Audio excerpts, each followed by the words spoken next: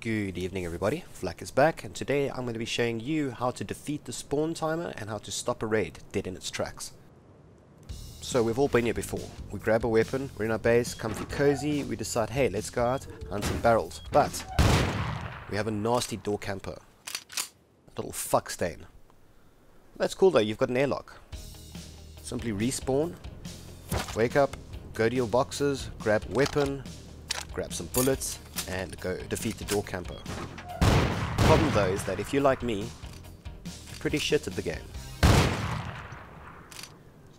Now the problem comes in that you've got a 4 minute timer and that guy's busy having his way with your loot. Nothing you can do about that. Base is gone. How do we fix this? Easy. Just place the second sleeping bag, right? Yeah, there's a problem though. If you die with two sleeping bags near to each other, they time out at exactly the same time. See, spawn points have a proximity. If you place one sleeping bag within another sleeping bag's proximity, the first one cancels the second one out. How big is the proximity? It's about as big as your mother! But jokes aside though, 17 foundations is the proximity of the sleeping bag. So I'm at my base now and I'm going to go build northwards, 17 spaces. So I'm standing here, I'm going to pull out a foundation, I'm going to place 17 northbound. 1, 2, 3, 4, 5, 6, 7, 8, 9, 10, 11, 12, 13, 14, 15, 16, 17. Excellent. I'll place a bag here, my original sleeping bag will not be affected by this one. So, put down my sleeping bag, name it appropriately, and then I decide to go westbound start building out westbound. 14 15 16 17 again same rules apply. So I'm going to place my sleeping bag somewhere inconspicuous somewhere around about here-ish I suppose. There we go. And now start building south. There we go 17 spaces south.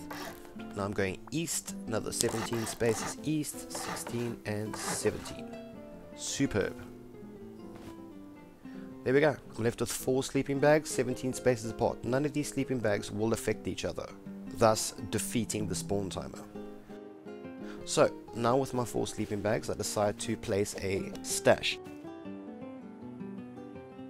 Now, for the purposes of this demonstration, I'm going to be placing down a pipe shotgun and a stack of shells. Not very effective, but again, it's just a demonstration. Depending on how rich you are as a group, you might want to obviously spruce up the stash with, you know, faster weapons, more bullets, more armor, and a bit of health maybe. But again, demonstration, pipe and shotgun shells. This is south, and another one eastbound. Okay, looks like I'm ready to go. So, four sleeping bags will not affect each other, as well as four anti-raid kits just painstakingly remove the 68 foundations left behind. Ready to go. So, as we started the video, came out of my base, opened my door, and the bitch shot me down, as bitches do. Not to worry though. Again, shoots me down, and then he slowly enters my base, like he's going to enter my loot boxes. But that's okay though, because I've got 4 spawn points, and I've got 4 anti-raid kits. So I just find my anti-raid kit, open it up on myself, grab some bullets, and then ready to go. Problem though, is that if you're like me, like I mentioned, you probably shitted the game.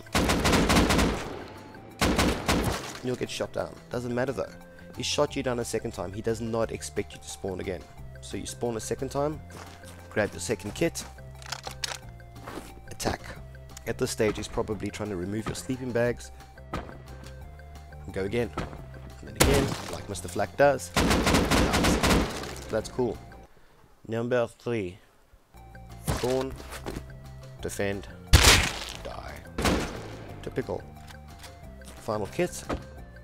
Let's give this guy a bit of a face massage. And we are done. Raid deflected. Loot gained. Raider dead. And that concludes my tutorial on how to defend yourself and how to beat the bag timer. This is a very effective method for a solo player. Very often when you play solo you've got four or five people attacking you know your small little base. This is a good way on how to counteract it. Obviously pipe shotgun and shells is a very bad example. However fill the kit with what you want and defend yourself properly Thanks for watching. Flak out.